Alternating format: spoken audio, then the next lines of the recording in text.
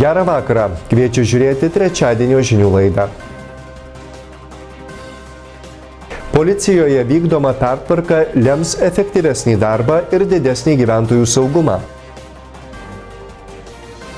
Marijampolės savivaldybės administracijos ir Lietuvos geležinkelių atstovai sprendė dviejų pervažų likimą. Psichosocialinio švietimo diena Rimantos Tankievičiaus pagrindinėje mokykloje.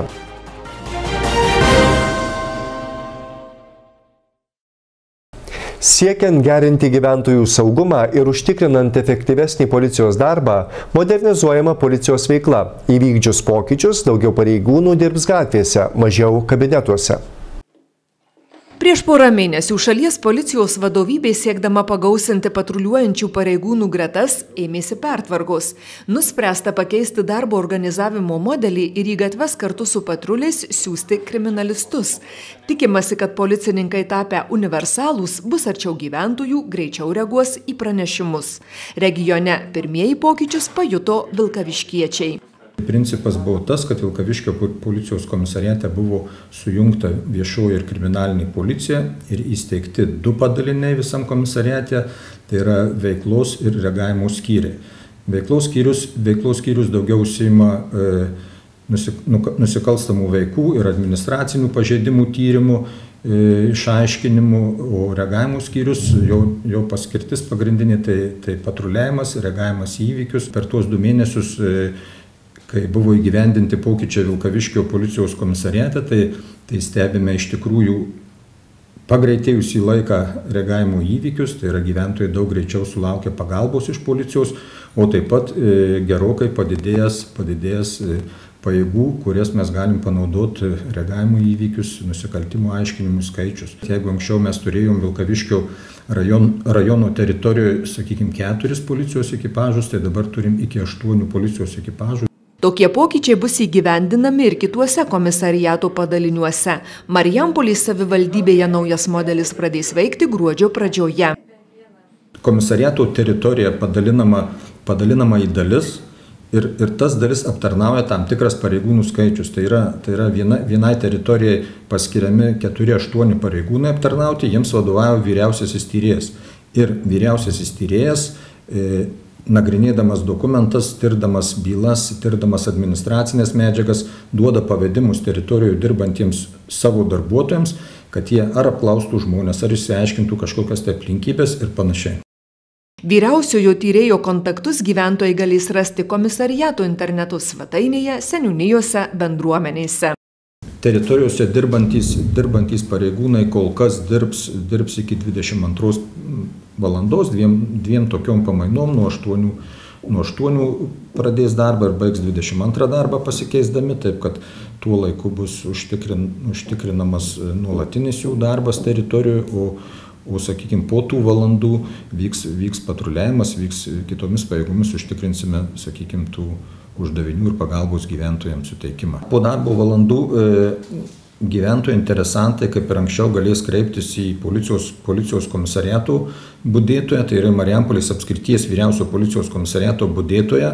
E, tai galės padaryti, sakykime, Marijampolės savivaldybės gyventojai tiesiogiai atvykę į Marijampolės apskrities vyriausiai policijos komisariatą, tai yra Basanaičiaus aikštė 2, o kituose komisariatuose, kitose savivaldybėse nedarbo valandomis, švenčių dienomis e, gyventojai galės atvykę į policijos komisariatą, galės pagalbos įrenginius, susisiekti su budėtoju ir taip pat gauti konsultaciją, paprašyti pagalbos, jeigu reikalinga gyventojams e, greita ir pagalba, kur, kur policija turėtų atvykti nedelsant, tai reikėtų skambinti pagalbos telefonu 112. Komandos bus aprūpintos informacinėmis technologijomis, kuriomis bus galima pasiekti duomenų bazės. Bus atnaujintas automobilių parkas. Pareigūnai bus aprūpinti neperšaunamomis liemenėmis, neperpjaunamomis pirštinėmis elektrošoko prietaisais. Bus suintensyvinti jų mokymai profesiniais taktikos ir šaudybos srityse. Susisiekimo viceministras Algis Žvaliauskas sukvietė susirinkimą dėl ūkininkų geležinkelio pervažų likimo. Pavasarį pradėjus Via Baltica rekonstrukciją, nuspręsta panaikinti puskelnių ir nendriškių pervažas. Įvykus avarijai Nendriniškių geležinkelio pervažoje, kai lengvasis automobilis susidūrė su keleiviniu traukiniu, sujudo sukruto visi, kuriems patikėta rūpintis mūsų visų saugumu. Į Mariampolės regiono kelių įmonę susisiekimo viceministras Algis Žvaliauskas sukvietė ir kelininkus, ir savivaldybės vadovus, ir Lietuvos geležinkelių atstovus. Klausimas vienas, ką daryti su ūkininkų pervažomis. O mes paklausime, kokia akcinės bendrovės Lietuvos geležinkeliai pozicija. Lietuvos geležinkelių pozicija yra e, visiems žinoma ir niekada nesikeitė. Tai yra pats svarbiausias dalykas, kad e, tai būtų saugu. Saugumas yra vienas iš svarbiausių dalykų. Ir išeidami iš saugumo e, reikalavimų ir saugumo ir norėdami kuo geresnio saugumo, reiškia, mes tą, tą klausimą ir mėginame spręsti. Ir dėl to esame čia, kad e, visi tie klausimai būtų būtent iš saugumo pozicijų išspręsti. Tai yra, kad traukiniai važiuotų saugiai, kad žmonės važiuotų saugiai per pervažas ir tai yra pats pagrindinis dalykas. O tai jūsų pozicija dabar uždaryti jas, kadangi gyventojai lyg ir ne, neprisižiūri jų, ar kaip elgtis? Mūsų pozicija dabar šiuo atveju yra išsiaiškinti. E, ir mūsų sprendimas yra laikinai uždaryti, laikinai, pabrėžiu, laikinai uždaryti tą ruožą, kadangi įvyko ta e, avarija, incidentas, kurio metu nukentėjo žmonės ir e, nukentėjo ir mūsų traukinys. O kiek tas laikinai galėtų būti? Ta, man dabar sunku atsakyti, čia pat yra komisija, kuri tą nuspręs. Aš manau, kad nu, kol, kol bus priimtas sprendimas, reiškia.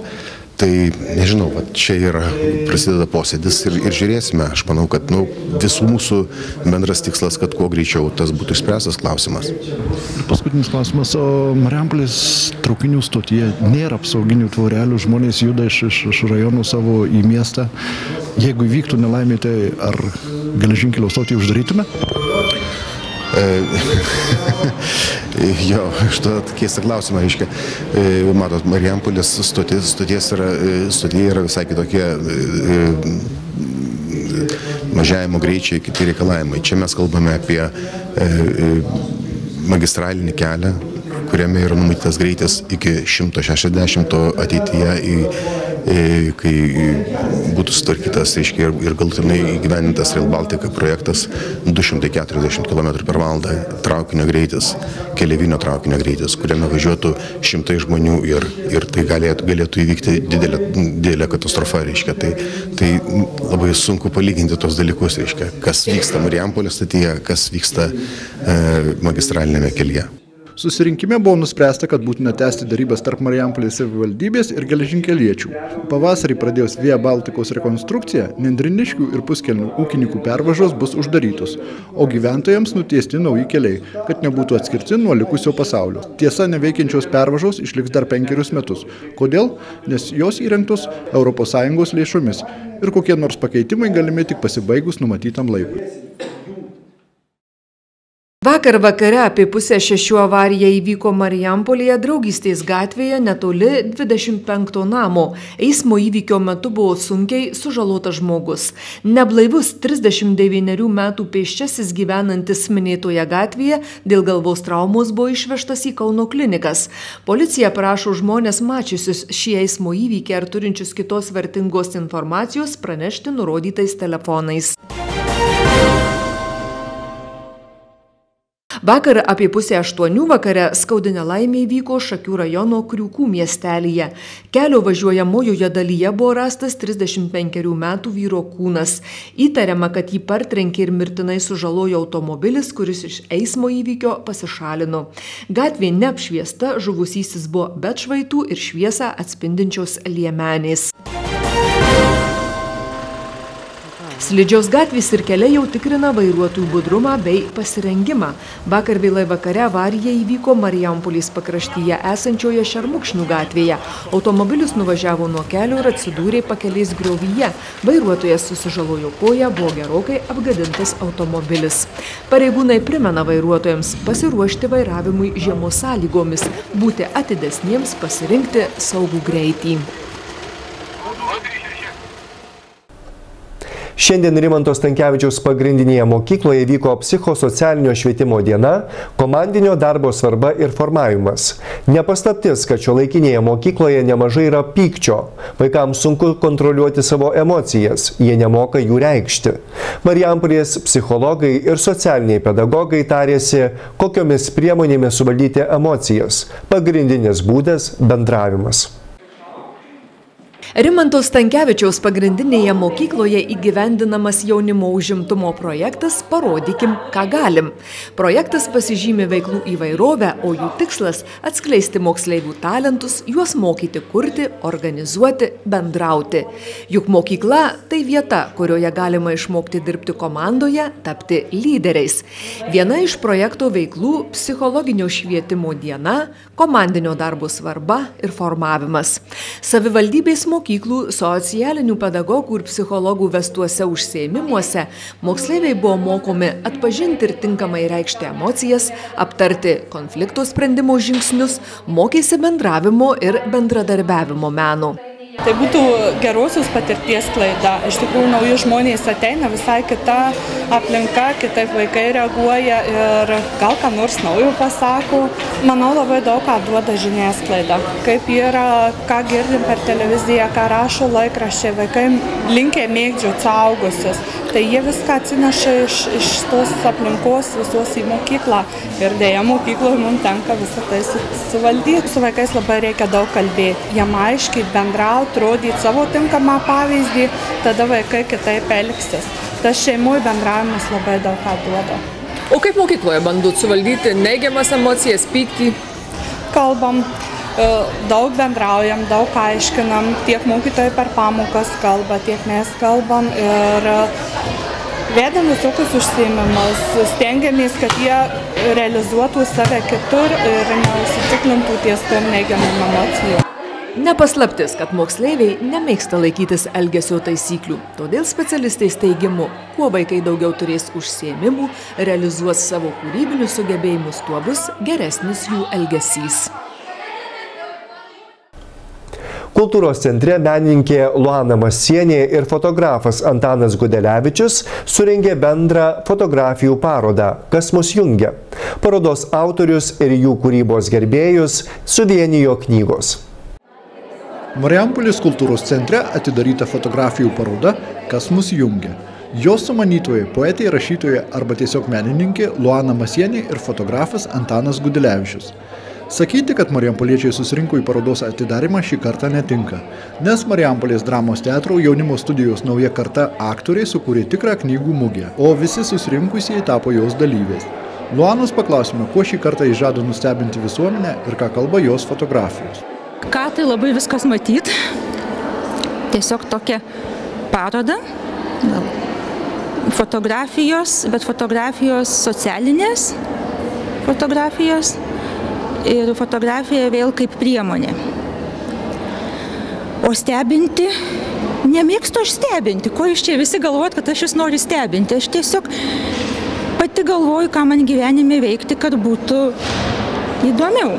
Prieš metus Luana kreipėsi į Marijampiliečius su paroda Perskeltas pasaulis.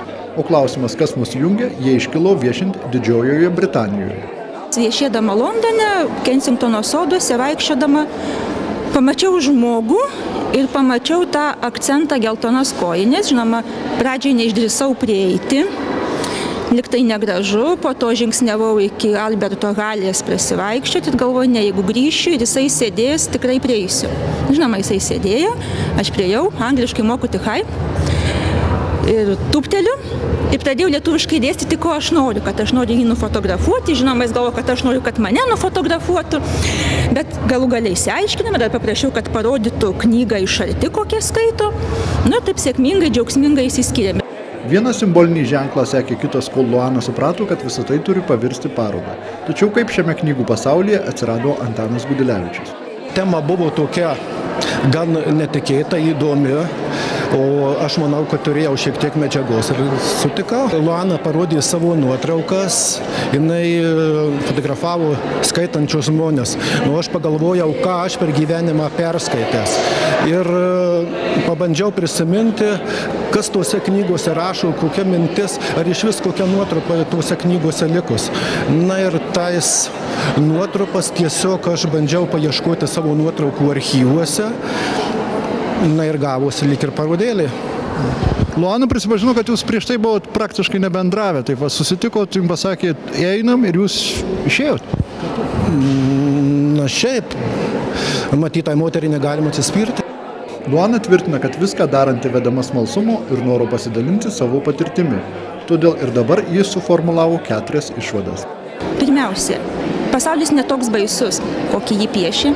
Ir Londono metro tikrai vyksta ne tik sprogimai, o žmonės džiaugsmingai važiuoja, kalbina, mojuoja, skaito knygas, vaišina šokoladu. Tai yra viena, taip, jis netoks baisus, kaip jis rodomas, jis toks, kokį mes jį matome.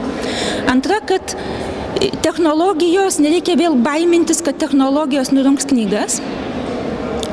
Vagonė, žinoma, dauguma buvo su mobiliaisiais, bet knygos niekad nedings, jos tiesiog gal taps mūsų atpažinimo ženklu vienas kito, gal net taps kokybės, net kažkokiu terme ar spindėjimu. Čia, ta, čia antroji. Ir trečioji, kad fotografija tai ne tik gali reprodukuoti tikrovę, o ji yra kaip žinios pateikimas pasaulio arba kartais pasaulio žinia man. O ketvirtąją atrasite patys atėję į fotografijų parodą, nors tokio stebuklo, koks buvo atidarimo metu, jau neberasite. Tiek naujienų paruošėme šiandieną, jaukaus vakaro sudie.